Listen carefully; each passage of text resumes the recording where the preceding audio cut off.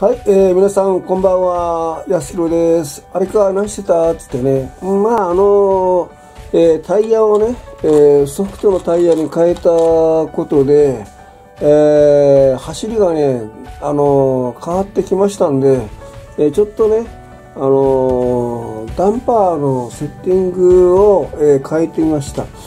えー、まあ以前のダンパーオイルとは違ってあの500番を使ってみたんですね。えそして、えスプリングは、えレッドから、えブルーに、え変えてみました。で走らせてみてどう？ってあのえそうですね。ニュートラルステアになりました。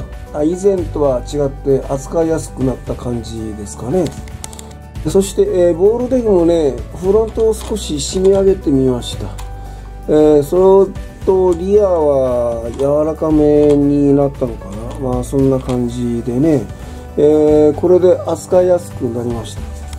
一つ困ったことがあってですねこのバッテリーにしてもこうタイヤにしてもねあのー、今新しいものを、えー、手に入れようと思ってもね、えー、なかなか手入れ入らないっていう状況になってしまいました。だからね走らせたいんだけども、え走らせられないっていう状況になってきました。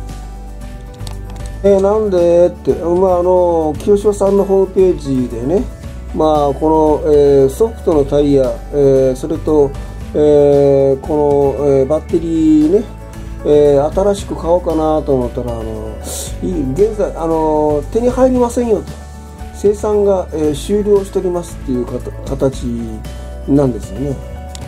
であとまで、え、今度の金曜日にちょっと、え、最後のテストランをしてみたいと思います。